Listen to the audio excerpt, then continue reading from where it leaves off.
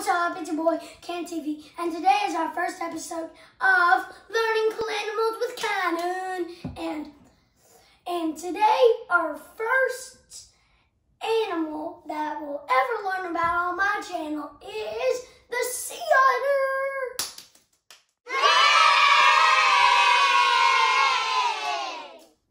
The sea otter is in the group of mammal animal family and it lives in the North American seas and it eats fish and it moves by swimming.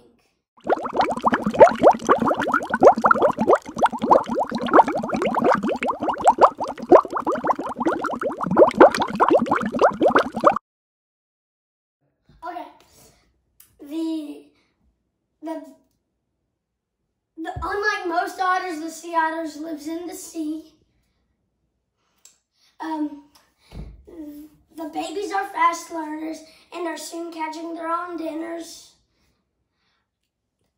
Um, the babies uh, spend the early weeks in the den, and the mother otter turns her den into a nursery by lining it up with plenty of dry leaves and soft grass.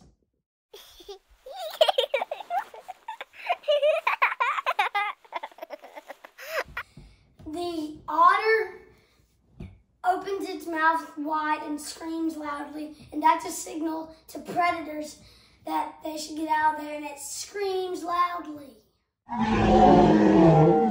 Crossing ice is not a problem for the otter.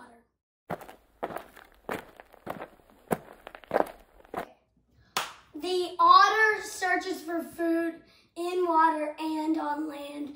The otter's ears and nose are waterproof. Man, I wish my ears were waterproof.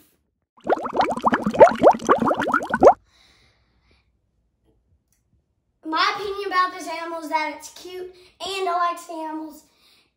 And I got all my information from books.